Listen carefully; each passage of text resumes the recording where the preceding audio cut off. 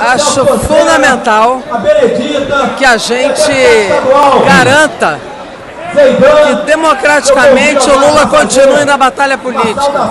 Nossa presença aqui é uma presença de defesa do povo, defesa de um projeto para o Brasil, mas acima de tudo a defesa de que o Lula possa ser candidato, independente do nosso partido ter pré-candidata, de outros partidos terem projetos. A nossa presença aqui é a defesa democrática de Lula poder participar desse debate, ser uma referência, uma liderança popular para o Brasil.